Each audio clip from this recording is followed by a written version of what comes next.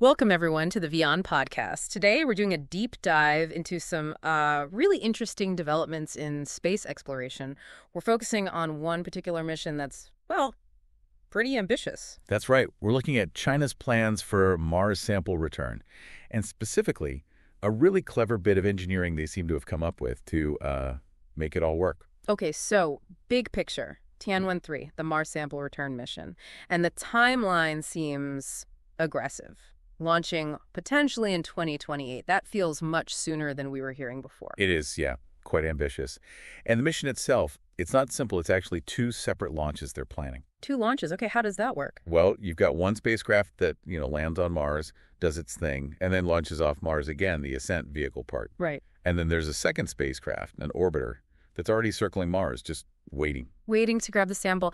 I heard something kind of unusual about how they plan to do the transfer in orbit. Ah, yes. That's the really interesting part. Instead of a, let's say, traditional docking, Yeah. they're apparently planning to literally catch the sample container in orbit. Catch it, like uh, playing catch in space around Mars. That sounds tricky. It absolutely does. And we have some details on the catcher mechanism. It's reportedly quite lightweight, only about 12 kilograms. 12 kilos to catch something orbiting Mars. Wow.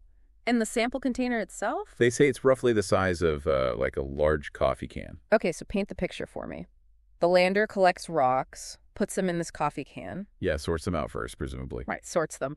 Then a small rocket blasts just the can up into orbit. Exactly. The ascent vehicle gets it into Mars orbit. And this 12 kilo thing on the orbiter has to somehow snag this moving can. That's the plan.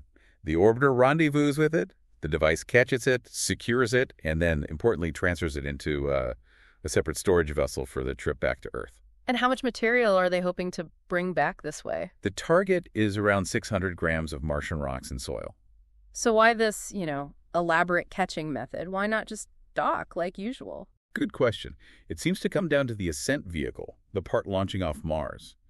Getting off a planet takes a lot of energy, right? So mass and power are extremely limited on that vehicle. Ah, so a big, heavy, power-hungry docking system just wouldn't fit the budget mass-wise. Precisely. Traditional docking systems can be quite heavy and need significant power. This new design, according to the researchers involved, is apparently much more integrated and way lighter than comparable systems. So a constraint led to potentially a really novel engineering solution. Exactly. It seems like a clever adaptation to the challenges. And where might they grab these samples from? Any specific locations mentioned? Utopia Planitia is mentioned as a potential candidate region, among others. Utopia Planitia, that rings a bell. Big impact basin, wasn't it thought to have ice? That's the one.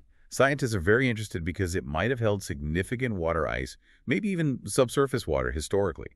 Samples from there could tell us so much about Mars's past climate, geology, even the potential for past life. So for you listening, think about that challenge. A 12 kilogram device catching a coffee can whizzing around another planet.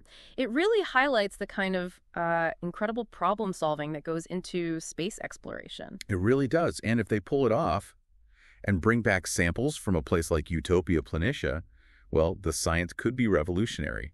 It definitely makes you appreciate the different approaches engineers are taking worldwide to tackle these huge challenges. Absolutely. Well, that's all the time we have for this particular deep dive. Thanks for joining us as we explored China's fascinating Mars sample return plans. Stay tuned for more such intriguing stories to come.